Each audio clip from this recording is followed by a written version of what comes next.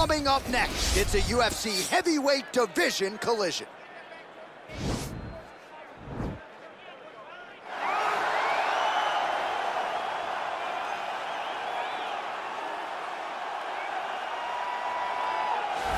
Right, so here he is, one of the more prolific takedown artists in the UFC at present. And when you get some praise from Daniel Cormier when it comes to your offensive takedown game, you know you're doing something right. And we talk about wrestlers and judo players and grapplers, but this guy just combines all of that.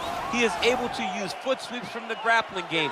He is able to use throws from judo, and he's able to use wrestling in the from the wrestling game to take people down. He has an array of takedowns at his disposal, and he uses every single one of them. From the speed of the level change to the timing to the knowledge of where to go next when the guy starts to defend, he's truly, truly something special. I don't think he could take you down, but tonight he doesn't have to. So he does not in this to. matchup, prevailing wisdom is he'll be able to get this fight to the canvas.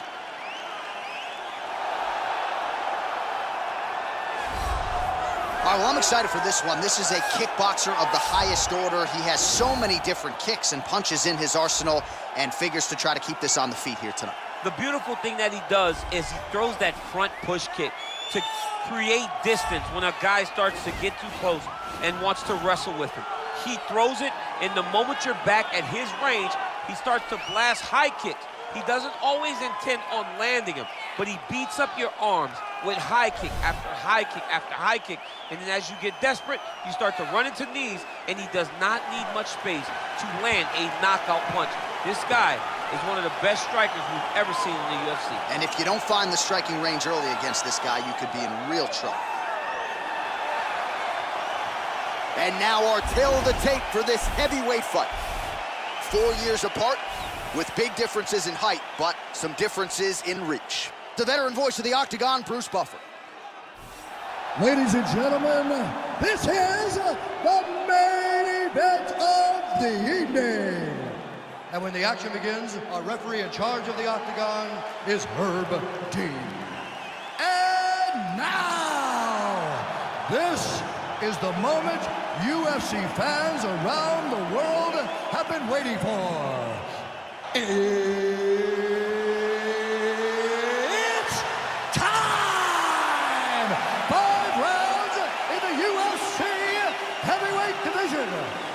Introducing first, fighting out of the blue corner. This man is a mixed martial artist, holding a professional record of 12 wins, 3 losses. He stands 6 feet 5 inches tall, weighing in at 252 pounds. Tom Aspinall! And now introducing his opponent, fighting out of the red corner. This man is a kickboxer, holding a professional record of 17 wins, 7 losses. He stands 5 feet 7 inches tall, weighing in at 145 pounds. Fighting out of Seoul, South Korea, the Korean Zombie, Chan Sung Jung!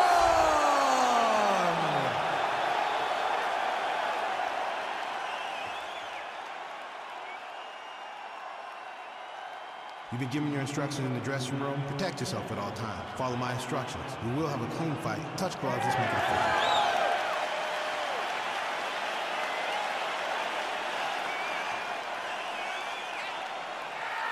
You ready?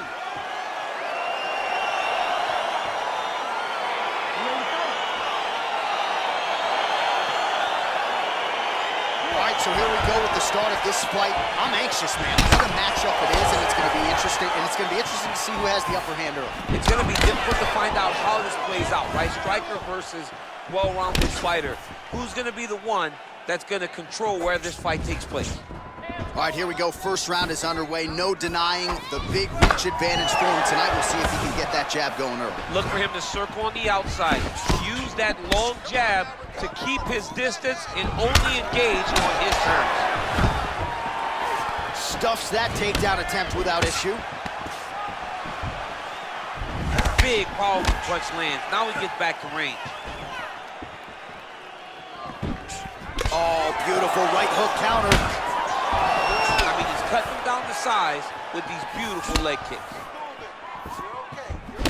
Punch coming, it's blocked. Oh, late defense on the takedown and scrambles to his feet. Nicely done. Look at the whip action that comes from him throwing that kick. Shows him the left and then follows it up with a right. Nice one-two punch there by Chan Sung Jung. Well, perhaps a sign of things to come as he lands a kick there. Nice kick landed by this gentleman. Back to the jab now, no good. Big punch lands over the top. How's he gonna follow this one? And just misses with that big right hand. Ooh. Oh!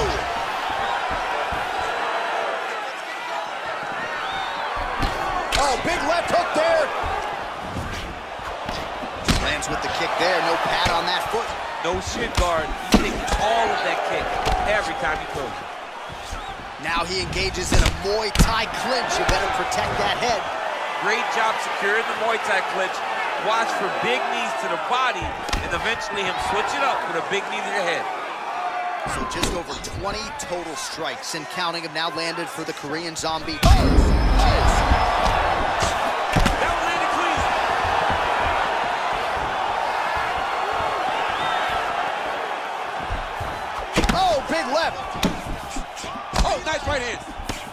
both guys really throwing with authority. The Korean Zombie gets caught with that punch. His chin is held up thus far. Gotta shore up the defense here, though.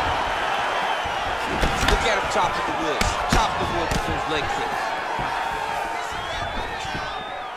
Yeah, he's mixing it all up. Takedown landed now by the Korean Zombie. Now trying to hip escape. He's just trying to move out of this position off the bottom. The Kimura is not the arm. It's the shoulder pressure that usually makes you tap.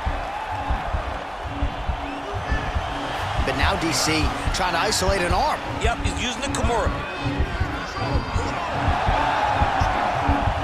It's in there deep. There you go.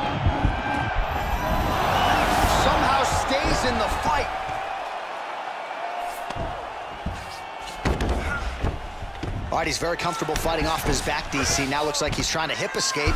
Yeah, he's trying to hip escape or maybe look for a Kimura here. Well, you got to stay busy on the bottom. He's doing it here. Nice punch. All right, trying to pass here. As Glover Teixeira might say, not today. Not today. Great job of following with the hips, keeping those legs locked and keeping them in full guard.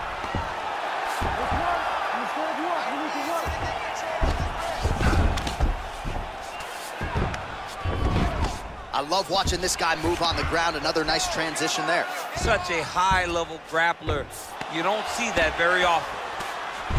Beautiful movement, hip work on the ground here. Just outstanding with the transition. He is not staying in one place on the ground, and that's very important.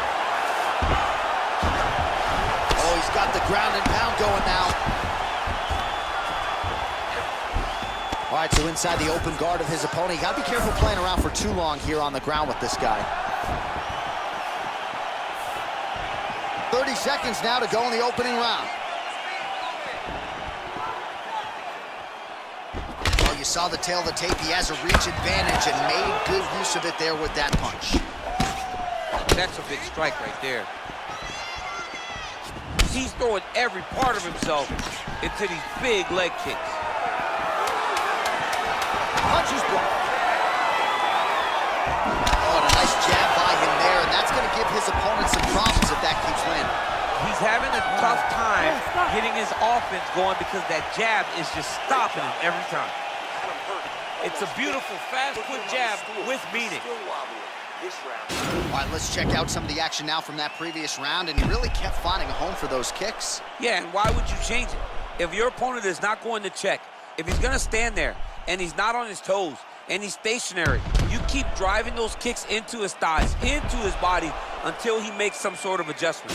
All right, here we go as our next round gets underway. His strong leg packs so much power that even when he doesn't throw it full throttle, you see he's able to inflict damage. We'll see if he can keep it going here in this He round. doesn't throw it full power, but even when he feints it, he draws out reactions from his opponents because they don't want to get hit with any more of those kicks. It's a sight to behold. All right, so he's landed some good shots tonight, but this is not a combo meal, right? No three-piece, no soda. It's one and done more often than not. Jon, don't you come to me without a combo. I want the whole platter. Give him the whole platter, young man. Put some punches together. Make this guy take the whole thing. Give him more than one strike. You have now found a setup punch. The jab is landing consistently. Find something that's going to go behind it. And now he's got that Thai clinch. The Korean Zombie gets the Thai clinch here. Stuffs the takedown there. How good is his takedown defense? And they separate. Look at him whip his hip into that kick. Just misses there with the left.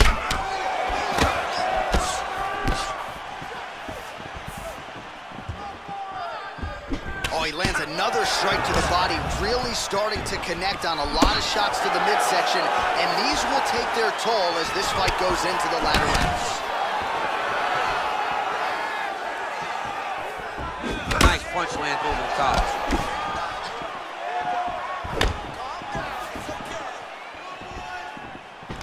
A little single collar tie there.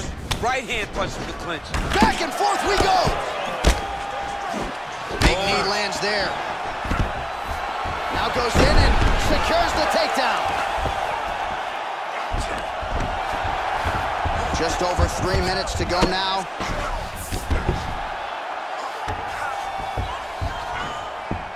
A lot of top pressure being applied here as he works out of side control. Now looking to do something with that left arm. He's isolating the Kimura. Oh! He's gonna turn on the elbow and he's gonna chase the submission finish.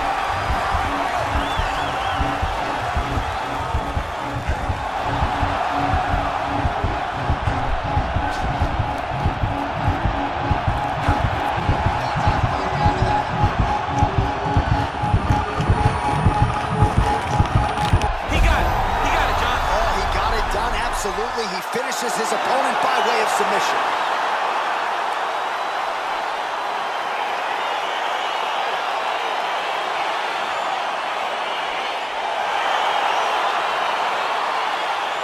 Let's take a look back at the replay as he gets it done by submission tonight, champ. He was able to get the fight to the ground exactly where he wanted it. Eventually, his opponent gave him an opportunity to get a submission. He did that, and he should be very proud of the work he did tonight in the octagon.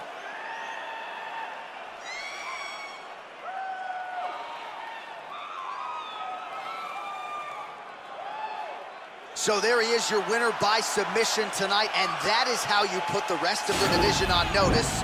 A huge result for him here tonight. Ladies and gentlemen, referee Herb Deans called a stop to this contest at 2 minutes, 32 seconds of round number two, declaring the winner by tap out due to an armbar,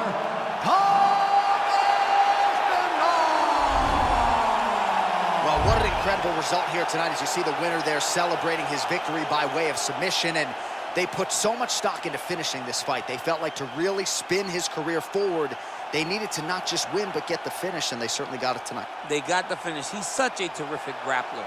Every time he is on his back, he looks for submissions over and over again. Eventually, he found one tonight and got the desired result.